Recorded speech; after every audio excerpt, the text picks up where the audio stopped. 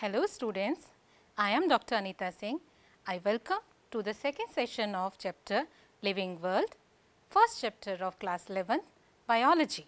Before moving forward, let us recall what we learned in the previous session. We learned the meaning of the word biology that is biology is the branch of science that deals with the study of life forms. Meaning of word living, the defining features of living organism. You are able to remember that metabolism, consciousness and cellular organizations are the defining features of the living organism. The importance of biodiversity and it is our duty as a citizen of our nation to conserve, restore and promote the sustainable use of biodiversity. We also saw how biological classification is done, what are the system of biological classification, we learnt about binomial nomenclature, trinomial nomenclature and we also learned the various rules, the universal rules of biological nomenclature. Let us begin with today's topic. Today's learning objectives are that you will think critically and understand the need and importance of biological classification. You will critically assess the concept of species and develop understanding towards various exceptions. You will identify various taxonomic categories and relate them with examples. You will also be able to relate your subject with your daily life. Let us begin with the topic. Biological classification. Classification or categorization is a phenomena that you must have observed in your daily life also. Try to recall the arrangement done by your mother in the kitchen. She has meticulously arranged various items in various categories as per her need. Utensils are kept in a different place, eatables are at different place. You may see various cupboards filled with dals, biscuits etc. she keeps at some other place. Okay. So, categorization uh, you must have also observed in your library, school library, books are properly arranged. Let me explain this uh, classification concept with an example. Suppose you stepped in a room that is filled with um, 1000 books and if I ask you to take out class 11th NCERT biology textbook, will you be able to do it? I do not think so. For that, you need to identify all the books, arrange them or categorize them depending upon various aspects. You may consider the standard of the book or whether it is a textbook, is a reference book or is it a sample paper. You will categorize things based on similarities and dissimilarities and then you can keep these books in different racks.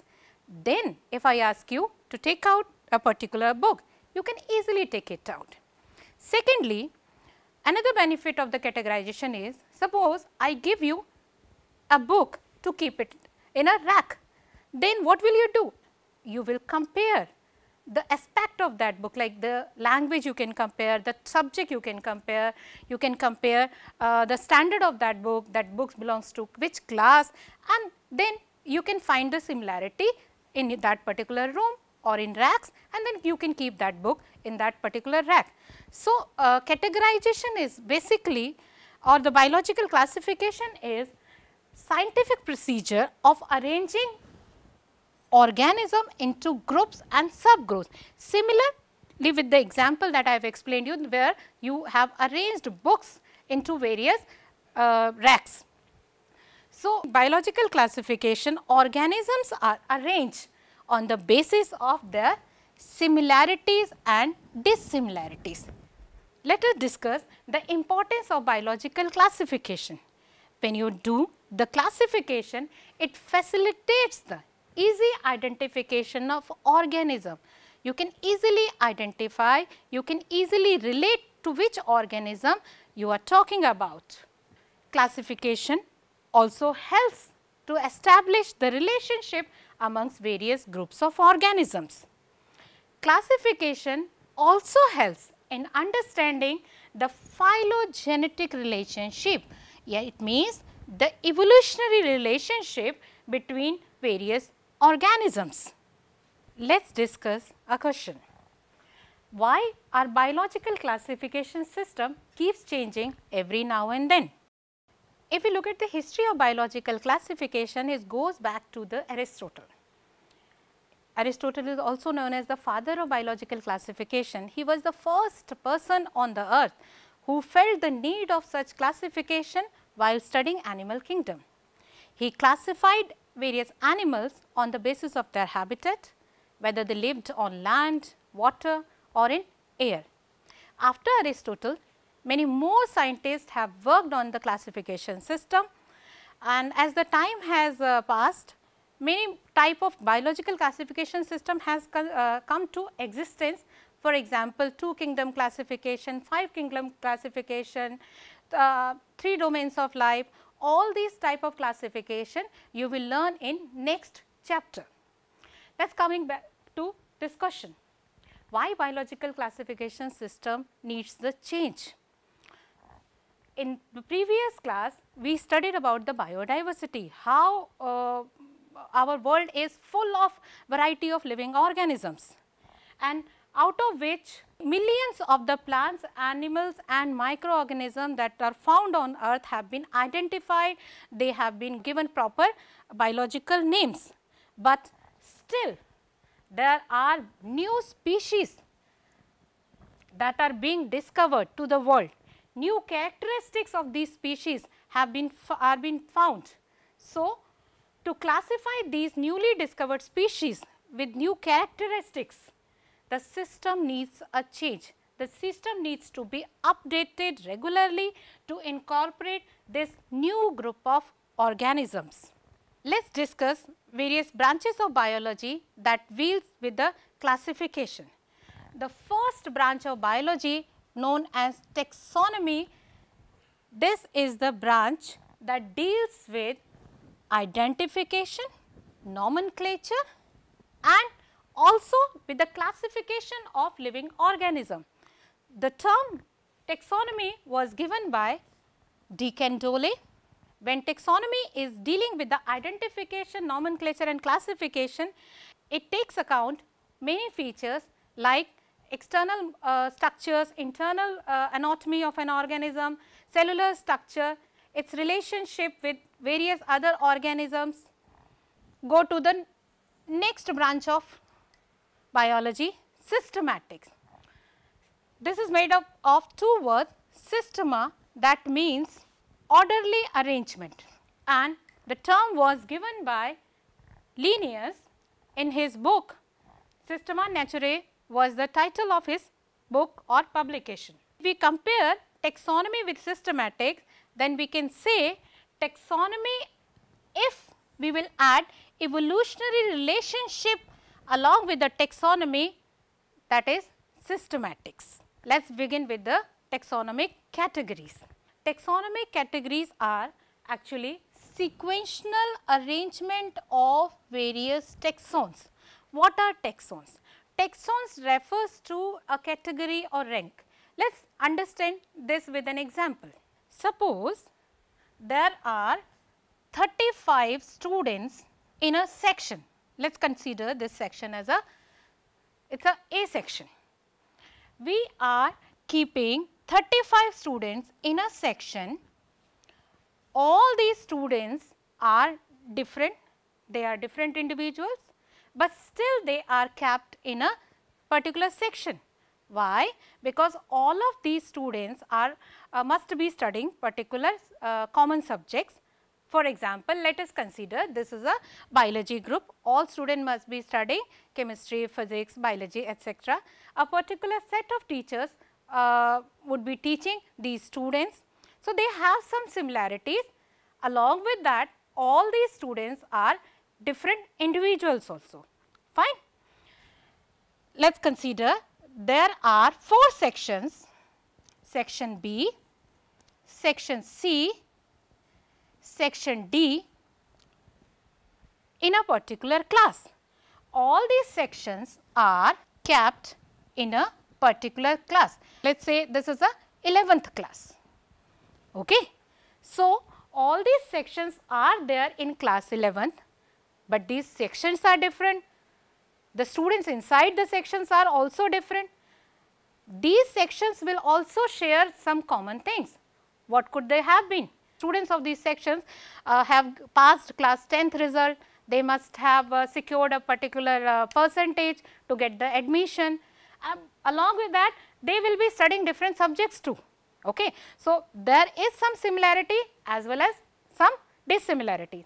Like I mentioned that these sections are there in class 11, there will be 12 classes there in that school, class 1, 2, 3, 4, similarly it will go on up to the class 12 and all these classes are there in a school. Okay. So, what is common in these classes that they all student uh, are coming to the school for study, they are wearing similar uniform. So, there is again a similarity as well as there are dissimilarities. So, with this example you can understand how the hierarchy in the school works. Okay. This is the largest group and this will be the smallest group. Similarly, when you are studying uh, enormous variety of organism, you need to devise a convenient way to study them. This is why the living organism are arranged into various categories based on uh, their similarities, dissimilarities and each category is called as taxon. Okay? So, the term or uh, for the category is taxon. Taxon also represent a rank. Let us understand various taxonomic categories. There are 7 taxonomic categories starting from kingdom which is the largest and most diverse group. Then phylum, class, order, family, genus and species. Species is the smallest and least diverse group. You can compare kingdom with your school in the example I had given and species you can compare with the students of a particular sections and you will understand the school was a most diverse group and if you look at the student it was the least diverse group. Let us understand the concept of species first. The term was given by John Ray and the concept was given by Ernst Mayr. He is also called as Darwin of 20th century Mayr was awarded three prizes and uh, they are widely regarded as triple crown of biology, the Balzan prize in 1983, the international prize for biology in 1994. Biological concept given by Ernst Mayr says that species is a group of organisms that are closely related. They can interbreed among themselves and they produce fertile offsprings. There are enormous number of species, enormous types of species. Let us take few example Panthera tigris, Mangifera indica, Musca domestica. Let us explore what he was trying to say in his concept. He talked about that species is a group of closely related individual. What is the meaning of closely related? That they all have common ancestor they were sharing the same or similar gene, gene pool. And these organisms were able to interbreed among themselves and the offsprings they were producing must were must be fertile. But here are few exceptions too. You might have heard the name of tigon, liger, usually tiger is a different species, lion is a different one. Ideally, they should not reproduce with each other. They are different species according to the concept given by Ernst Mayr. They are not very closely related, okay? they are separate species. But if you keep these animals in captivity, they are able to interbreed with each other. Tigon is a hybrid that is produced when tiger is crossed with lioness and liger is produced when lion is crossed with tigress. An important thing is to note that they are different uh, animals, they are interbreeding among themselves, they are uh, producing progeny that has capability of self breeding. These tigon or liger females are able to reproduce. So, the these are exception to the concept given by Ernst Mayr. Another example of the exception is mule. You all are familiar with the mule. How is mule, mule is produced? Male donkey crosses with female horse. Mule is produced. Hinny is produced when male horse crosses with female donkey. They are also hybrid, but they are non-fertile. They cannot reproduce. Fine. So, it happens in nature that few uh, organisms which are not related to the same species, they are able to reproduce and when they produce progeny at times it is fertile. In maximum number of cases the progeny produces not fertile. Let us explore various other taxonomic categories. One of the taxonomic category is genus. Genus is a category that contains similar species. For example, Panthera is a genus that contains species which includes lion, leopard, jaguar, snow leopard and tiger. The scientific name of lion is Panthera leo, Panthera pardus is the scientific name of leopard, Panthera onca for jaguar, Panthera uncia for snow leopard and Panthera tigris is the scientific name of tiger. All are different species and they are similar, they are wild cat. So, they are placed in a genus named as Panthera, right. Let us take an example from the plants. Genus Solanum contains tomatoes, potatoes and eggplants. All are different species have common characters. So, they are placed in a genus known as Solanum. Go to the next category, taxonomic category that is family. Family is the category that contains various genus. For example, family Felidae contains Felis and Panthera. Panthera are wild cats and Felis contains, Felis is a family that contains small cats. Solanaceae is the plant family that contains genus Solanum, Petunia and Datura. Next taxonomic category, order.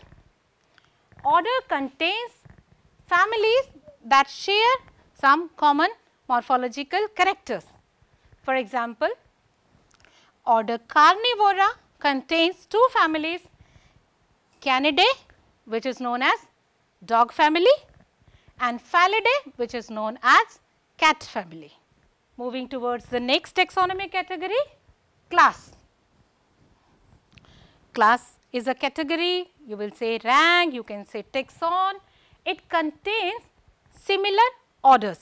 For example, class Mammalia contains order Carnivora and Primata. There are more orders also included in this Mammalia. Let us move to the next category that is phylum. Phylum is a category that contains similar classes. In case of plants, we use the term division instead of phylum. An example of the phylum, we can take Chordata. Phylum that contains various classes which includes Mammalia, reptiles, amphibia, aves and pisces. You must be familiar with these all classes. You must have studied them in your class lower classes. Let us now discuss the most diverse group kingdom. It is the category that contains all phylums, all like kingdom Animalia, it contains all the phylum like Chordata, Mollusca, Arthropoda, Echinodermata, Protochordata, Hemichordata and many more.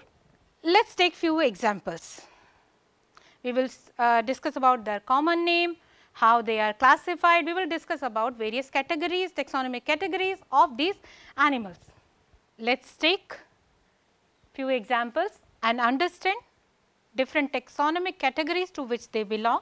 First example we will take is of men. The biological name of the men is Homo sapien.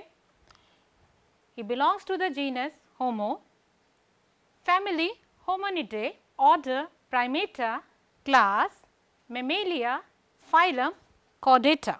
Moving to the next example, housefly. The biological name of the housefly is Musca domestica, genus Musca, family is Muscidae, order Diptera, class Insecta, phylum Arthropoda. Moving to the next example taken from the plants, mango is the common name, biological name of the mango is Mangifera indica, it belongs to the genus Mangifera, family Anacardiaceae, order is Sapindales, it belongs to the class Dicotyledonae, phylum Angiospermae. Another example from the plant we have taken today is of wheat. The biological name of wheat is Triticum aestivum, genus is Triticum, it belongs to the family Poaceae order is Poales, class is Monocotyledonae and it belongs to the division Angiospermae. Let us have a quick recap of the session. Today, we discussed and understood the need and importance of biological classification. We also explained the taxonomy and systematics, two branches of biology. We also tried to understand the species concept and develop understanding for the exceptions. We also learnt various taxonomic categories. We also understood these taxonomy categories with the help of various examples. That was all for today's session. In the next session, you will learn about various taxonomical aids, how they are used uh, in identification of various plants and animals. Thank you.